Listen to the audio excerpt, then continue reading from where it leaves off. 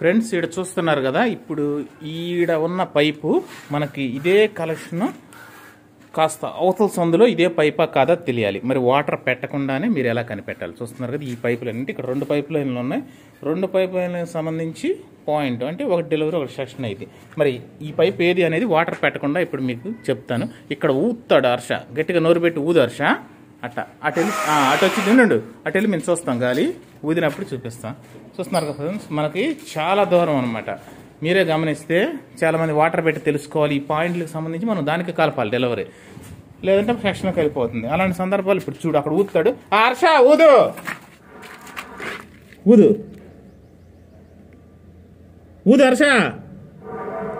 చూసారా ఫ్రెండ్స్ దీంట్లో నుంచి గాలి వస్తుంది. మళ్ళీ ఒకసారి గట్టిగా ఊదు. అది.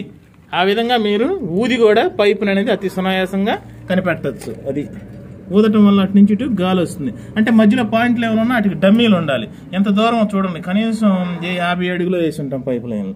చాలా మంది అనుకుంటారు అంత దూరం అట్టు కనిపెట్టాలనుకుంటారు. వాటర్ పెట్టాలేమో అనుకుంటారు.